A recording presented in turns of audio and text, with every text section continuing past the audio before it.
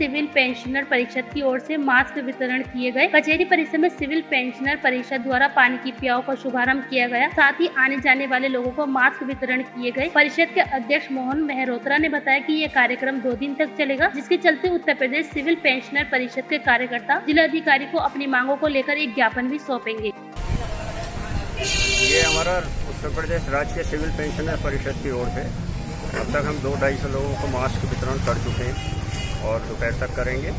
उसी के साथ इस भीषण गर्मी में हम लोग ये जल सेवा भी हमने रखी है। ये जल सेवा आज और कल दो दिन हमारी जल सेवा रहेगी। और कल हम एक ग्यारह बजे जिलाधिकारी महोदय या उनसे प्रतिनिधि को तीन सूत्रीय ज्ञापन